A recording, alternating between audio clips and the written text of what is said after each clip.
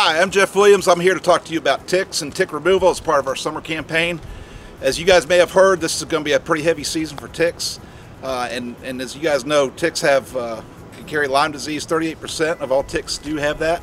Um, this is not new to us. This is something we deal with every year. Uh, so what we want to cover with you today is the importance of making sure that we're looking for ticks and that we're removing them quickly and properly. Um, we got a document that came out with us. Everyone's going to review, but basically the, the key here is um, a lot of the ticks out there do have Lyme disease. We want to avoid that. Uh, if we do have find find some embedded in our skin, let's make sure that we call the nurse and our supervisor, and they will step us through. The nurse will tell us exactly what to do, which is basically removing it correctly with the right equipment, with either a tick removal kit or some tweezers. Um, clean it, make sure we put it in a Ziploc bag and save it with a date on it. And then watch for symptoms, and the nurse will take care of that um, as far as what date everything happens and plan of care. And with that, Hope you guys enjoy our summer campaign.